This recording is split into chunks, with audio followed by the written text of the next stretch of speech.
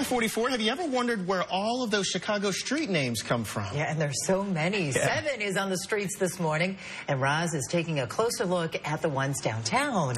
You know I'm such a history buff, so this is right up my alley. So anyway, did you all know that when Chicago was incorporated in 1837, it was 10 square miles and a handful of streets.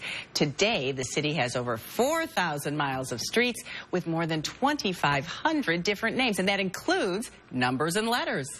You'll find many of Chicago's early street names downtown within the original city border bounded by Lake Michigan, North Avenue, Wood Street, and 22nd Street. Some names are easy to figure out. How do you think Dearborn got its name? Uh, Fort Dearborn? Fort Dearborn was a U.S. Army outpost uh, on Michigan Avenue near Wacker Drive. Henry Dearborn was Thomas Jefferson's Secretary of War. The name was given to the fort, and then the fort stuck around to the mid 1800s, and then the street took the name of the fort. Who do you think Kinzie Street is named after? Oh, Kinzie? I'm not 100% sure. John Kinzie was an early Chicago settler. He traded with the Native Americans and had a cabin along the Chicago River. He's also known for having committed one of the first recorded murders in Chicago history. He murdered John Lalime. After the murder, he hid out in the woods, and the local police in the early 1800s deemed that he had acted in self-defense. Another thing you may not know about John Kinzie, his great-granddaughter, Juliette Gordon Low, was founder of Girl Scouts of the USA. Didn't mince anyone? One of the city's most famous streets has been featured in movies, is a great shortcut through the loop, and was part of Daniel Burnham's 1909 plan of Chicago. How do you think Wacker Drive got its name?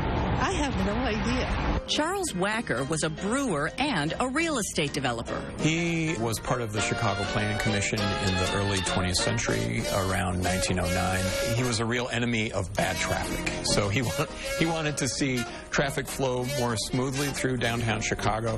Finally, Congress Parkway.